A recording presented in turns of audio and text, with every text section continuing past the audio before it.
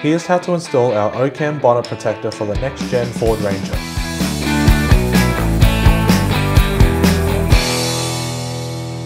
Lay out all the hardware and familiarise yourself with the kit. Align the protector to the centre of the bonnet and use the included double-sided adhesive strips to mark where the mount points will go.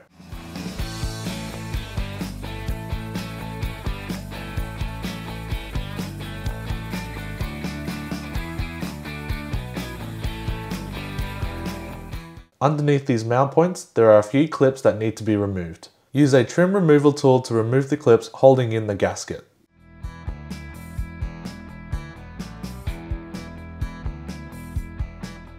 Assemble the mounting brackets by placing the screw seat into the bracket as shown. The bracket sits underneath the gasket and the screw is secured on top with a plastic washer. This sandwiches the gasket to the bracket. Repeat this process for the remaining mounting brackets.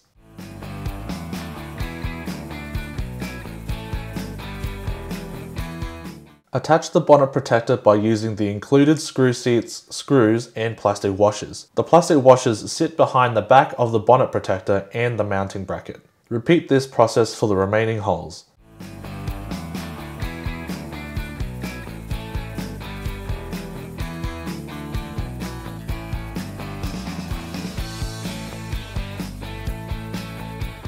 And there you have it, your OCAM bonnet protector is installed.